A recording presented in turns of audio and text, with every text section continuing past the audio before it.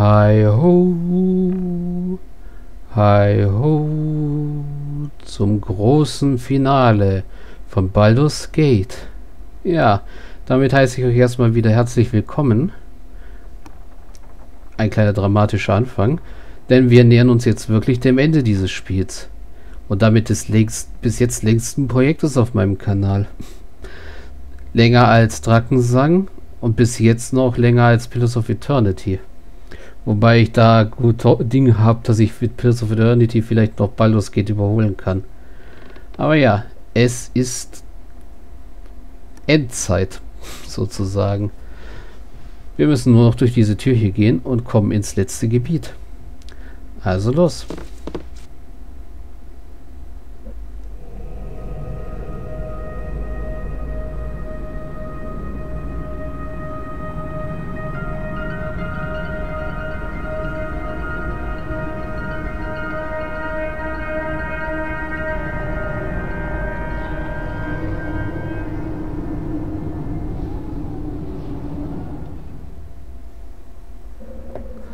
Ah, eine verlassene Stadt. Gut. Hier können wir dann wieder auf unsere normale Formation umstellen. Du bist ja ein Und schicken mal kurz-. Immerhin vor, ein bisschen spicken. Ja, nichts leichter als das. Was vor? Ich hab genug davon. Ziehen mal nach und da ist schon jemand. Ach, Ghoul. Was wollt ihr? Nichts leichter als das. Euer Leben. Oh ja, und die weltlichen Schmatzgeräusche. Ein Ghoul, mehrere. Und ja, diesmal sind's Ghule.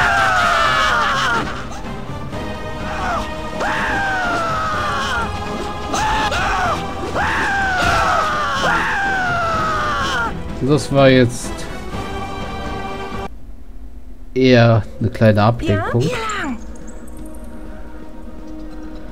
Gehen wir mal weiter voran. Ja, die sehen eher so aus, als ob sie böse wären. Okay, da hat als eine. Gruppe entdeckt. Von wem auch immer. Mich kümmert, denn ich verschwinde jetzt. Und da die so böse aussehen, gehören die wahrscheinlich zur Sarevok. Also das ist eine komplette Kampfgruppe. Die hatten sogar einen Oger und einen Magier. So, deswegen legt Minsk, äh, Khalid jetzt mal Ja. erst seinen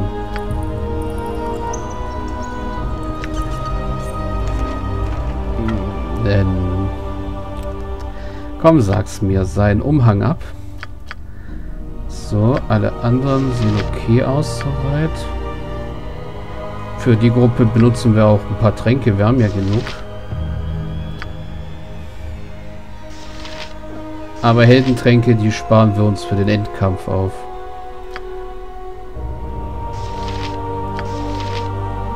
Okay. Also, du trinkst so ein, Braucht meine Hilfe? du trinkst so ein, Minsk trinkt so ein, Steht zu eurem Diensten. du trinkst keinen, du auch nicht, du tust Hasszaubern, du zauberst den hier, du zauberst den, Was? dann zauberst du Schutz vor dem Bösen Kollektive, zauberst Verschwinden, zauberst Verteidigungskoordination, äh, zauber mal einen magischen Hammer, du zauberst deinen ähm, Segen noch, dann kannst du deine magische Kugel zaubern. So, magische Kugel. Kann die wieder anziehen. Und dann können wir uns mal mit Was wollt ihr? Nichts leichter als das. dieser Gruppe anlegen hier.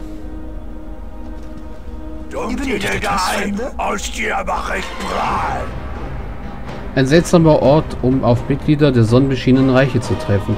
Ich würde gern wissen, warum ihr hier seid. Darf ich mit Recht annehmen, dass ihr mit dem Mann Sa Sarevok Anchev etwas gemeinsam habt?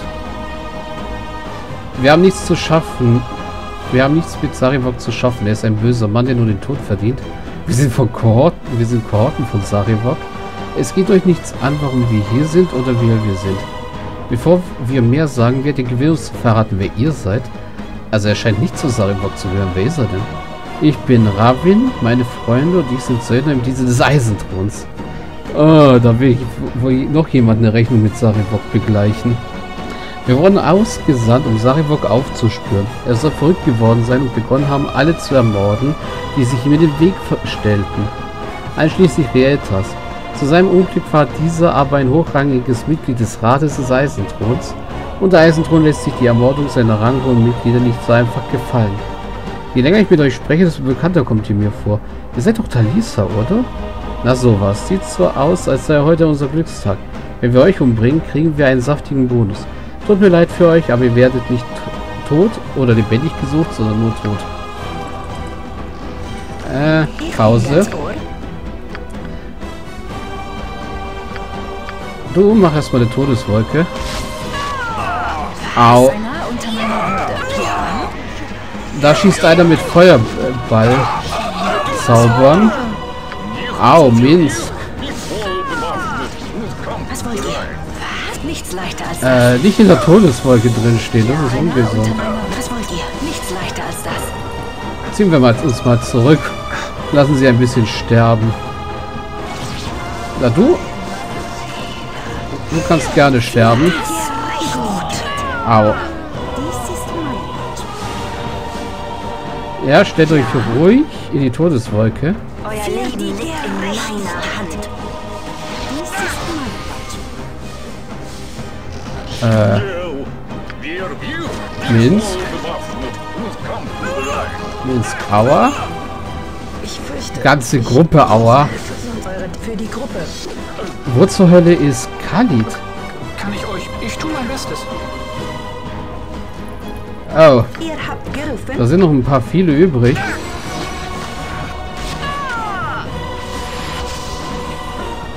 Okay, ihr sind immer noch zwei übrig. Nicht in die Todeswolke. Ich bin ganz ohr. Komm, noch einer. Ihr braucht, wenn niemand besser geeignet ist. Und das war's mit dem. Puh. Was wollt ihr? Dann gib mal jedem ein paar äh, Heiltränke aus. Außer Khalid, der hat noch genug Leben. So. Okay.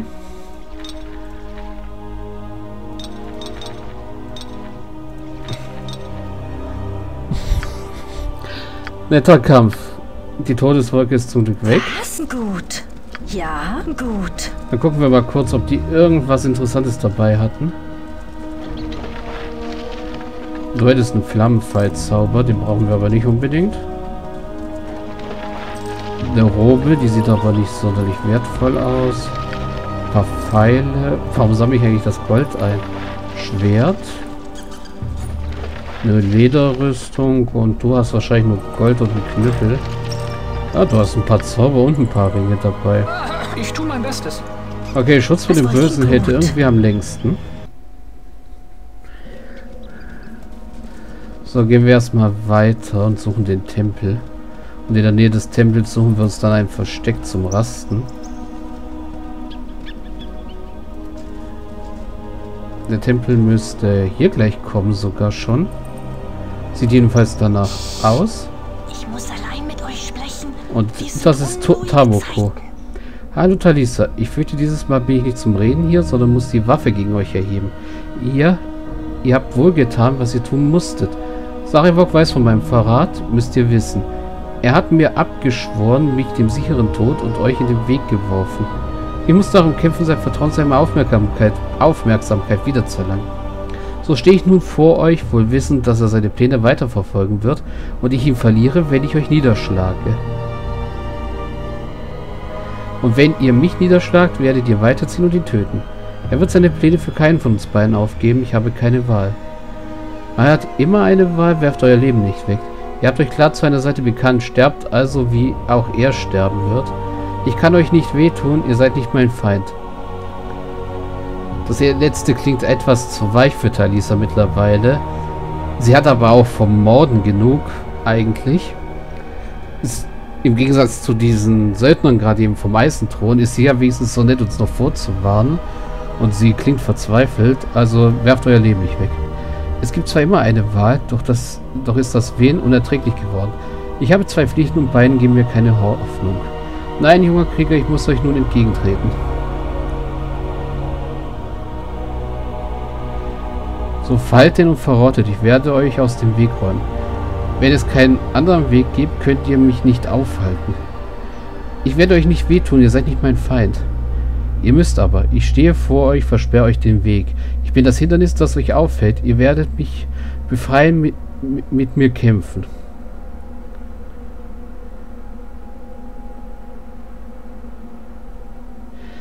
Wenn ich euch umbringen muss, um vorbeizukommen, dann soll es wohl so sein. Ich werde es tun und euch dabei, und euch dabei eure Fehltritte gegen mich vergeben. Wenn ihr euer Leben wegwerfen wollt, dann seid ihr bereits tot. Wenn so eure Entscheidung lautet, dann benötigt ihr mich nicht. Ihr gleicht euch eigentlich doch nicht so sehr. Er hätte keinen Augenblick lang gezögert. Vielleicht, vielleicht liegt es mehr als, liegt es an mehr als seinem Blut, dass er so ist, wie er ist. Ich bin ein Narr gewesen. Geht. Euer Weg ist frei und ich wünsche euch alles Gute. Ein letztes Wort noch. Hütet euch vor der Blindheit, mit der alle Gefolgsleute geschlagen sind, und dem verdamm verdammenswerten Reiz derer, die führen. Ein Narr war ich, und andere sind es noch. Macht euch bereit für das Feuer. Okay. Ich habe noch einmal Tamoko getroffen, diesmal in der Unterstadt. Sie wollte nicht mehr reden, sie kam, um mit mir zu kämpfen. Saragvok hatte sie verlassen, da sie mit mir gesprochen hatte, und sie meinte, sie müsse seinen Glauben an sie wiederherstellen. Mein fehlender Wille zum Kampf bewies, dass ich ganz anders bin als Sarivok und dass es vielleicht nicht nur göttli sein göttliches Blut war, das sie zu dem gemacht hat, was er ist. Das war hauptsächlich Realta. Sie sagte sich von ihm los und wünschte mir Glück. Sarivok wartet mit dem fanatischsten seiner Anhänger. Ja, es Gebau hätte auch die Möglichkeit gegeben, hätten wir Taboko äh, vor der flammenden Faust nicht nochmal wieder getroffen. Hier ist übrigens der Tempeleingang. Dann ähm, wäre sie hier gar nicht aufgetaucht. Dann würde sie nämlich immer noch vor der flammenden Faust warten, dass wir kommen. Und hätte einfach so mal gar nichts mitgekriegt. Aber okay. So, ich würde sagen, wir rasten erst einmal kurz. So. Ja, o oh allgegenwärtige Autoritätsperson. Und fangen dann an, hoch zu heilen. Ihr habt eine Aufgabe? Ja? So, ganz langsam. Habe ich eigentlich... Ja, ich habe Khalid seinen Schutzumhang wiedergegeben. Den nehme ich ihm aber erstmal wieder weg. Eure Dienerin steht zu euren Diensten. So. Es gibt so viele Orte, an denen ich jetzt lieber wäre. Zweimal leichte Wunden auf dich. Ja, o oh allgegenwärtige Autoritätsperson. Du brauchst auch mindestens zweimal leichte Wunden. Was? Du hast noch genug für Khalid? Ihr habt eine Aufgabe? So. Ja. Moin. Äh, nein, nein, nein. Mist, jetzt habe ich den abgebrochen. Ich wollte eigentlich Khalid weiter heilen. Hast du noch einen? Ja, du hast noch einen für neun. Jetzt habe ich gerade einen Heizzauber vergeudet. So. Khalid ist fast voll. Ja, Hira ist fast voll. Fehlen nur noch Imoen und Minsk. Das heißt noch einmal rasten. Das hat sogar geklappt. Ich glaube, Sarivok macht sich dermaßen in die Hosen, dass er sich nicht raustraut. Du kannst übrigens den da wieder anlegen. So. Weiter immer. Du heilst mal. Habe ich dir nur zwei würde Nein, ich habe dir drei gegeben. Oh, du hast noch gar keinen einzelnen verbraucht. Du kannst dafür einmal Immoin heilen. Und dann einmal Minsk. Achso, das war jetzt wieder. Talisa. Ups. Okay, jetzt heil einmal Minsk mit den schweren Wunden heilen. Das müsste dann reichen, oder? Ja. Das heißt, alle Gruppenmitglieder sind wieder komplett oben auf. Und wir könnten theoretisch in den Tempel gehen, aber wie ihr seht, ist hier die Karte ja ziemlich unaufgedeckt. Ja? Hier lang! Und da ich nicht so gerne halbe Sachen mache, oder nicht ganz so halbe Sachen. Oh.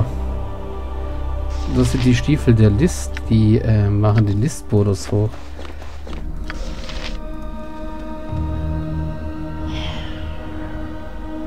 Mist.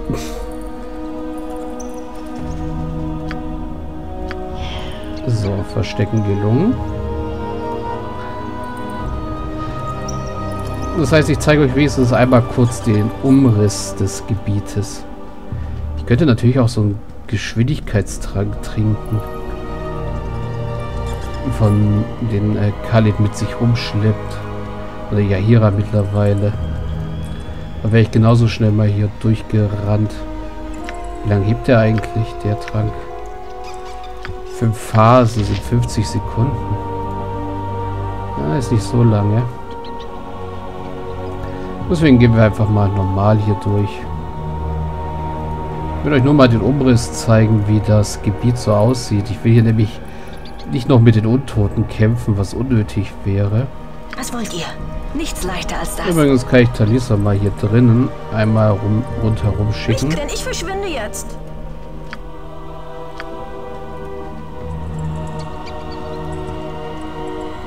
Während ich immerhin einmal nur außenrum um die Insel schicke.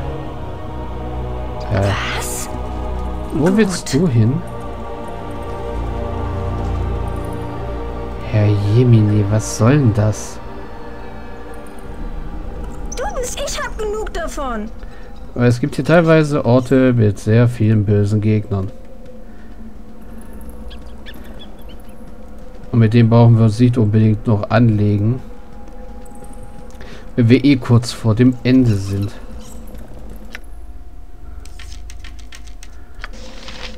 So, im Schatten stecken voll gelungen. Das heißt, wir gehen da Ja, unten einmal lang. unter meiner Würde.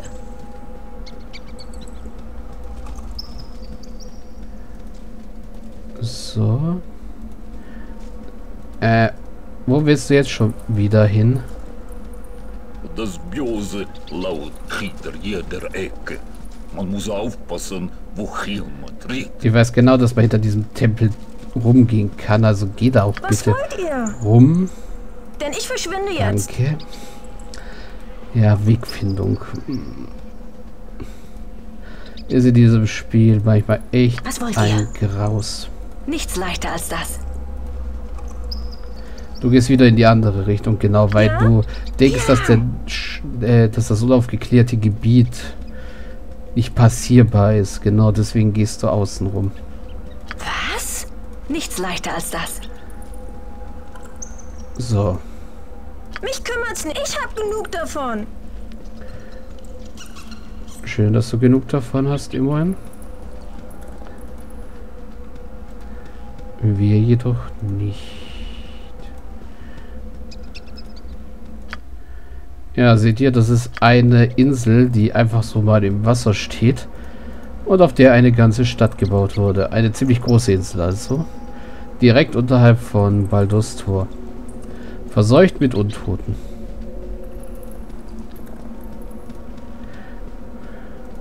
Wobei die große Frage ist, wie es die, ähm ja, wie es die Söldner der, Fla äh, der Eisen des Eisenthrons. Jetzt wollte ich gerade schon Söldner der flammenden Faust sagen, weil das sind, die heißen ja hier im Deutschen Söldner. Äh, wie es die Seht ihr, da ist ein ganzer Haufen Skelette. Und ganz ehrlich, mit dem müssen wir uns nicht rumplagen mehr. Noch mehr Skelette. Ja, die, wie es die Söld also die Söldner von vom Eisenthron geschafft haben, hier runterzukommen. Überhaupt.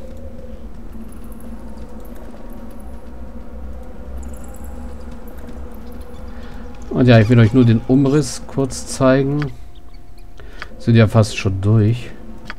Also hier in die Gebäude werde ich jetzt nicht mehr reingehen. Das könnt ihr ja selber mal machen, wenn ihr das Spiel mal spielen solltet. Und euch einfach damit zufrieden geben, dass hier wirklich absolut nichts mehr ist. So, das war es eigentlich schon von unserem Rundgang. Ja, nichts leichter als das. Ich stelle mal die Gruppe hier auf.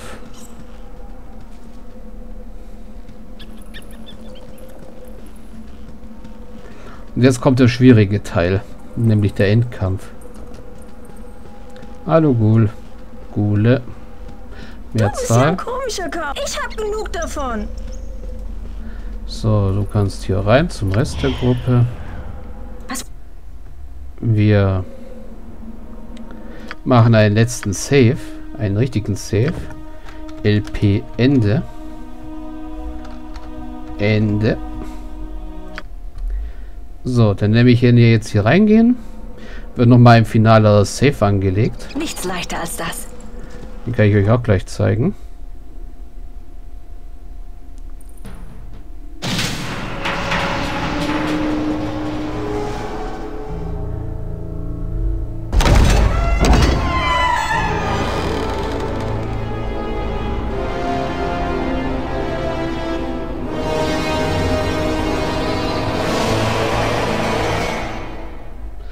Jo, schöner Empfang.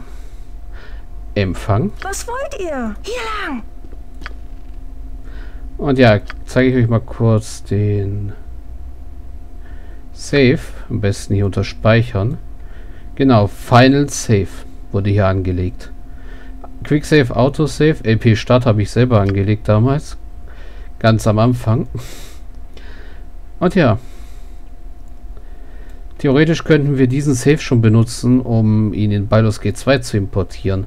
Allerdings ist es besser, wenn wir Sarivok besiegt haben, wird eine Char-Datei erstellt, dass wir die exportieren. Das ist einfacher als mit einem Safe-Game. Aber das kommt dann erst sehr, ja. sehr viel später. So, ein letztes Mal Quicksave machen. Wir sehen schon mal, Angelo ist hier. Und ist durch ein Schild geschützt. Und noch jemand, der Semai, Semai heißt. Und wir haben hier die Musik aus dem Hauptmenü. Übrigens, dieser Schädel hier ist böse. Der ist nämlich bedeckt mit Fallen, die nicht entschärfbar sind. So, wir gehen jetzt erstmal vorsichtig vor. Ich habe keine Angst vorm Sterben. Du etwa? Ja, und Sarivok spricht schon. In der Tat, ihr gehört zur Familie. Niemand sonst hätte es mit mir von Angesicht zu Angesicht aufnehmen können. Doch dies wird euch nichts nützen. Ich werde schließlich die Herrschaft übernehmen und in den Reichen wird ein neues Zeitalter anbrechen. In der Tat, ihr gehört zur Familie. Niemand sonst hätte es mit mir persönlich aufnehmen können. Doch dies wird euch nichts nützen. Ich werde schließlich die Herrschaft übernehmen und in den Reichen wird ein neues Zeitalter anbrechen. Ihr seid verrückt. Was erhofft ihr davon, einen toten Gott wieder zum Leben zu erwecken? Es muss eine andere Lösung geben, Bruder. Wir können uns zusammentun und gemeinsam gegen das Böse kämpfen. Sicher nicht. Was gibt es das Recht? Was gibt euch das Recht, diese neue Ära zu beanspruchen? Was wir nicht gedenke, sie euch wegzunehmen. Euren üblen Machenschaften wird hier ein Ende gesetzt. Dieser Gott bleibt tot und ihr werdet ihm Gesellschaft leisten. Ihr seid verrückt, Die oder? werden voll Blut sein, wenn ich meine Arbeit beendet habe. Vater Baal ist tot, doch mit dem Gemetzel, das ich inszenieren werde, werde ich beweisen, dass ich seiner Würd sein würdigster Nachfolger bin. Durch mich wird seine Macht aus der Asche auferstehen. Die Straßen werden blutgetränkt sein, wenn mein Werk vollbracht ist. Nachfolger, Gottheiten sind nicht dafür bekannt, freiwillig ihre Macht zu teilen. Und was, wenn ich beweisen kann, dass ich diese Macht mehr verdiene? Nichts gebührt euch außer dem Tod, der durch meine Hand, der euch durch meine Hand zuteil werden soll. Nachfolger, Gottheiten sind nicht bekannt.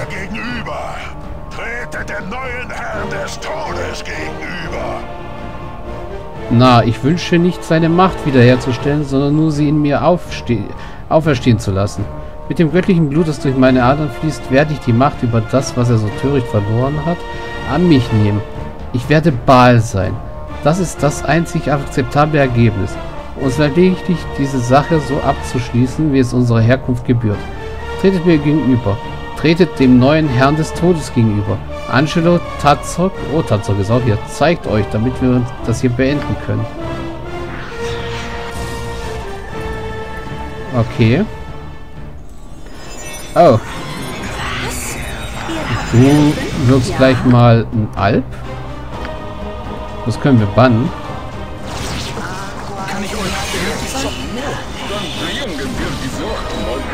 Das war jetzt gerade genial. Er hat versucht, ihn zu übernehmen. Nichts leichter als das. Also Talisa zu übernehmen. Okay, erstmal müssen wir diesen Semai loswerden. Gut. Speichern nicht möglich. Ja, nichts leichter Ach ja, weil wir uns mit dem Kampf befinden. So, das war der erste Gegner. Mich kümmert's nicht. Ich hab genug davon. Und ja, meine Strategie ist es erst einmal, seine Kohorten rauszulocken. Ohne dass wir ihn anpissen.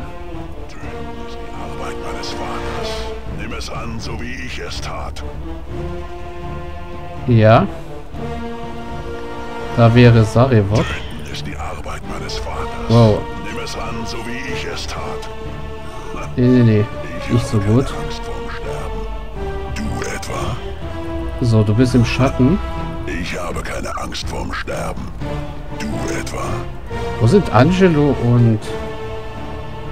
Ähm... Töten ist die Arbeit meines Vaters. Es an, so wie ich es tat. Habe ich was verpasst?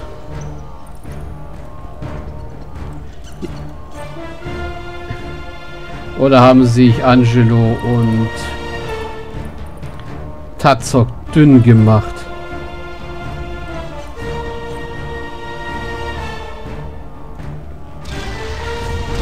Wow. Das war nicht so geplant. Arbeit meines Vaters. Nimm es an, so ich es tat. Ähm, immerhin aufstehen. Ich habe keine Angst vorm Sterben. Du etwa? Immerhin im Schatten verstecken gelungen. Diese Gruppe ist Euer Tod ist unvermeidlich. Oh, da wäre Angelo. Der hat sich nur unsichtbar gemacht. Äh, Quicksave nochmal. Genug davon. So. Ich habe keine. Au, das war die Blitzfalle, die ich gerade entschärft hatte. Hier lang. Ja, die sollte ich erst ausschalten. Genau, diese Blitzfalle hier. Schatten verstecken, fehlgeschlagen. Willst du mich veralpern? Übrigens, die kannst du wieder haben, Khaled. Oh, das hätte ich jetzt fast vergessen. Gut, dass mir das Malheur passiert ist. Denn jetzt hätte ich fast vergessen, was zu erklären. Nämlich die Sache mit den goldenen Pontalons. Und meiner Waffe. Mit den goldenen Pontalons ist es nämlich so, die müssen in Talisas Inventar sein, also dem Inventar von meinem Mage, damit ich die ins äh, in Baldur's G2 mit übernehmen kann. Es gibt nämlich insgesamt nur drei Gegenstände, beziehungsweise eine Liste von zweimal vier Gegenständen plus die goldenen Pontalons. Und von jeder Liste kann ich nur einen Gegenstand übernehmen. Wenn ich keinen Gegenstand im Inventar habe, außer den Pontalons jetzt vielleicht, werden bestimmte Default-Gegenstände ausgewählt. Einer davon wäre Baldurans Helm. Den kriege ich auf jeden Fall in äh, Baldur's Gate 2 wieder, auch wenn ich ihn jetzt nicht hier im Inventar habe. Und eine Rüstung werde ich auch wieder kriegen. Gut. Das heißt, du machst dich jetzt wieder unsichtbar. Gehst hier vorsichtig ran.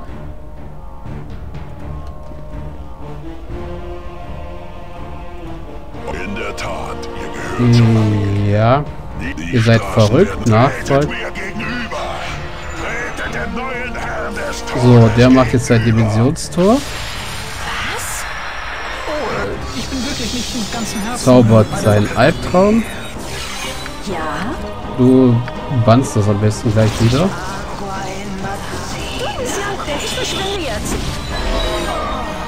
So. Und dann hauen wir den um.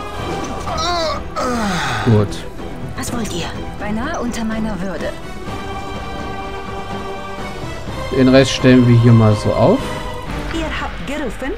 Oh, bei dir wurde das gar nicht gebannt. Mist. Was macht das nochmal? Das ist großer Malison. Können wir den selber auch? Nö. Ah ja, ist egal. Gut, das heißt, es ist Buff-Zeit. Äh, Zaubertrank. Zaubertrank. Zaubertrank. Zaubertrank. Oh, mm, immerhin kannst du nicht. Mist. So, Zaubertränke. Die sind geschluckt. Äh, du den. Du den. Du deinen letzten Stärketrank. Du kannst nichts. So, dann kann es ja mit dem Waffen losgehen. So, den hier. Du Gebet. Du kannst dich vervielfachen. Du kannst schon mal den hier sprechen. Du kannst Schutz vor dem Bösen. Du kannst verschwimmen. Du kannst noch Verteidigungskoordination. Dann den da. Du aktivierst den. So. Ach, und am besten noch den magischen Hammer. So, speichern ist nicht möglich.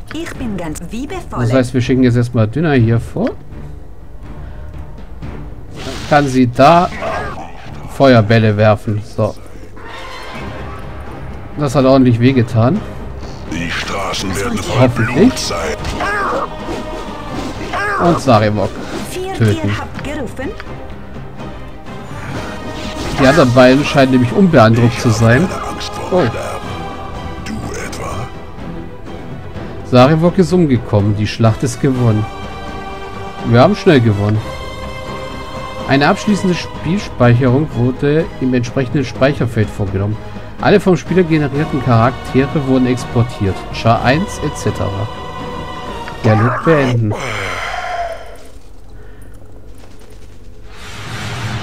So ist Sarivok gestorben.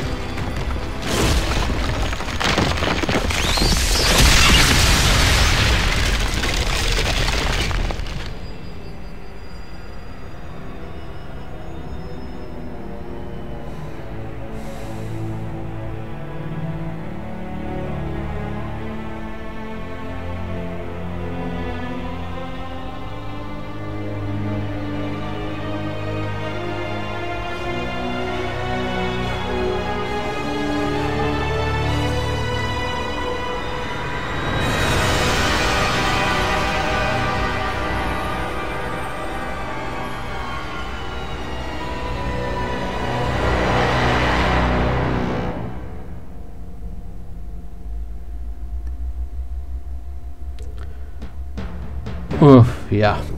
Dieser Abspann macht mir immer noch eine riesen Gänsehaut, wenn ich ihn mir ansehe. Also das Endvideo. Man sieht, wie Sarivox Statue zerbröselt, aber dann kommt langsam dieser Zoom, wo man das ganze Kolosseum, möchte ich es mal fast schon nennen, sieht. Einige Statuen dort sind bereits zertrümmert, das heißt andere Brüder oder Schwestern von Talis hat es auch bereits erwischt. Aber es sind unzählige.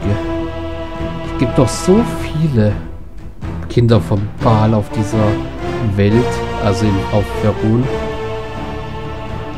dass das einem richtig Gänsehaut machen kann.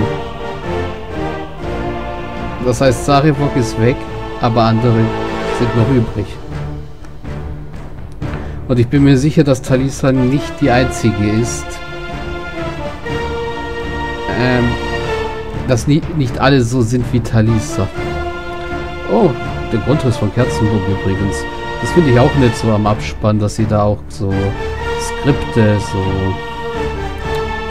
Skriptzeichnungen einbauen. Weil hier sieht man ja Kerzenburg so einigermaßen und andere Modelle, da oben die Windmühle zum Beispiel aus Naschkill. Ja, Wie dem auch sei, das Let's Play ist vorbei. Ah, Magier-Skins. Ja, das Let's Play von Baldur's Gate ist damit beendet. Das heißt, es geht dann mit Teil 2 weiter, aber nicht sofort. Weil ich habe noch andere Projekte, die meiner Aufmerksamkeit bedürfen. Pillars of Eternity läuft ja noch zurzeit. Aber wie versprochen hatte, geht es jetzt dann endlich mit der dritten Staffel von Dwarf Fortress weiter. Beziehungsweise wahrscheinlich, wenn diese Episode hier rauskommt, werde ich bereits die ersten Dwarf Fortress Folgen hoffentlich schon veröffentlicht haben. Ich freue mich schon drauf. Ich hoffe, diejenigen, die mein Dwarf Fortress LP mögen, sich auch. Ja, zum Spiel möchte ich nicht viel sagen, weil ich kenne das Spiel schon so lange und ich finde es immer noch richtig geil eines der ältesten Spiele in meinem Besitz und ich liebe es heute noch wie vom ersten Tag an. Auch wenn es heute heutzutage ein bisschen weniger frustrierend ist als damals, als ich noch jünger war, unerfahrener und das Spiel blind gespielt habe. Privat natürlich. Und teilweise schon in Gebiete gegangen bin, wo ich gleich getötet wurde, weil die Gebiete zu hoch waren für mich. Deswegen habe ich mir ja auch schön viel Zeit gelassen, alles zu erkunden, mich ordentlich auszurüsten, Erfahrung zu sammeln, Max-Level zu erreichen, was, wie ich gesagt habe, möglich ist. Wir haben sogar noch mehr Erfahrungspunkte bekommen, als wir überhaupt hätten bekommen können. Also wir haben ziemlich viele Erfahrungspunkte verschenkt, wenn man so sagen will.